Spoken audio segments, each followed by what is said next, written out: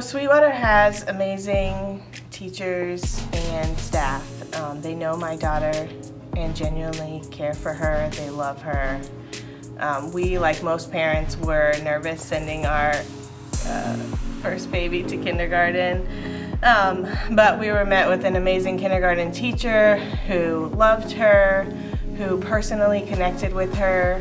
Um, Sweetwater's strengths are really the um, amazing teachers and staff and principal. They, they go all out for the kids, they care about the kids, they are meeting the students where they are, and they help them and they challenge them to grow and learn in the way that fits them best.